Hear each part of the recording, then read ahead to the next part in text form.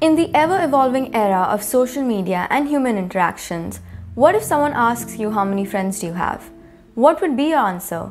5, 10, 150, equal to the number of Instagram followers or Facebook friends? What if you were told that there is an actual limit to the number of friends you can have and people you can maintain stable social relationships with? Surprised? 150 or the Dunbar's number is a suggested cognitive limit to the number of people with whom one can maintain stable social relationships in which an individual knows who each person is and how each person relates to every other person. This number was first proposed in the 1990s by British anthropologist Professor Robin Dunbar, who found a correlation between primate brain size and average social group size. This correlation was simple the bigger their brains, the larger their social groups. The explanation made sense as bigger the brains of the animal, larger is its capacity to remember and thus can interact with more of their peers meaningfully.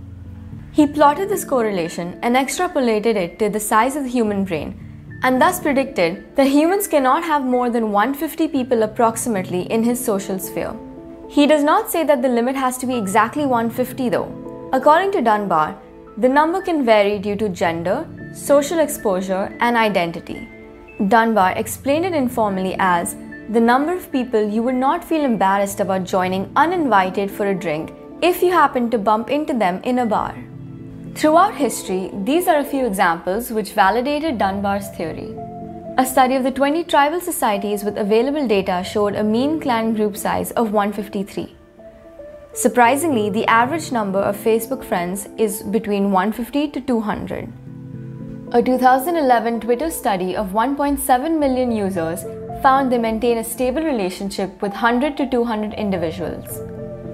Exchange of Christmas cards in the UK and the maximum network size was about 153.5. 2008 survey by the Knot Wedding Network of over 18,000 brides revealed an average wedding guest total of 148.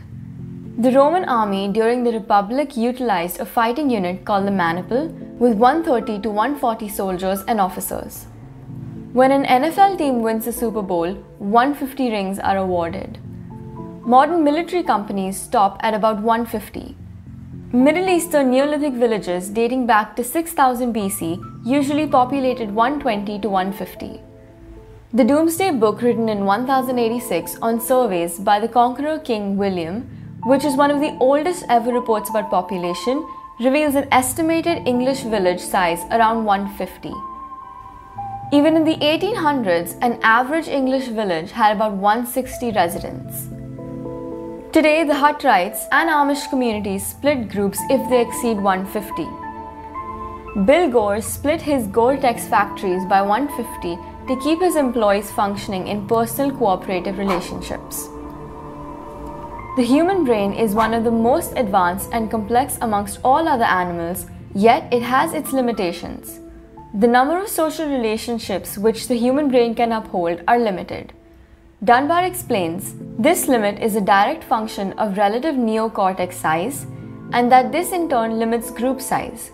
The limit imposed by neocortical processing capacity is simply on the number of individuals with whom a stable interpersonal relationship can be maintained.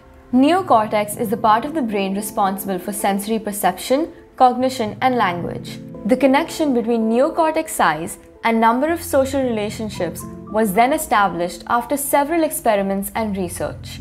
In simple words, bigger the brain, bigger the social circle. Time limitation. Maintaining social relationships requires commitment and consumes a substantial amount of time. Having an unusually big social circle hampers productivity and also becomes incredibly tough to maintain due to time limitation. Dunbar and his team have also performed research on Facebook using factors such as the number of groups in common and private messages sent to map the number of ties against the strength of those ties.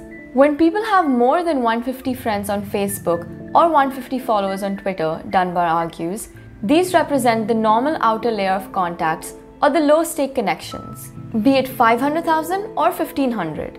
For most people, intimacy may just not be possible beyond 150 connections. In his opinion, various digital media are really just providing us with another mechanism for contacting acquaintances. Dunbar says that there's a consistent pattern and it scales roughly by a factor of 3 each time 5 intimate friends, 15 good friends, 50 close friends, and 150 friends. He also supposes that the number continue beyond that 500 acquaintances and 1500 people who you could put a name to a face.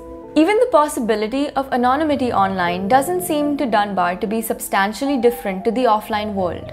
He compares anonymous internet interactions to the use of confessionals in the Catholic Church.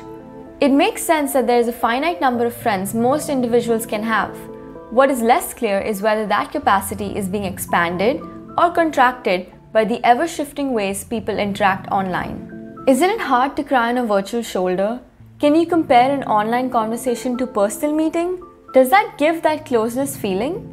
Virtual friendship does not last. It is literally fragile, Dunbar quotes. However, Dunbar's own research suggests generational differences in this regard. Those aged 18 to 24 have much larger online social networks than those aged 55 and above. Moreover, the primacy of physical contact in the social brain hypothesis may apply less to young people who have never known life without the internet, for whom digital relationships may be just as meaningful as analog ones. No one really knows how relevant the Dunbar number will remain in a world increasingly dominated by virtual interactions. Well, only time will tell who your true friends are, who love you for you and are not just another acquaintance on a social media platform. Whether the Dunbar number will shrink or rise, that is a mystery of its own.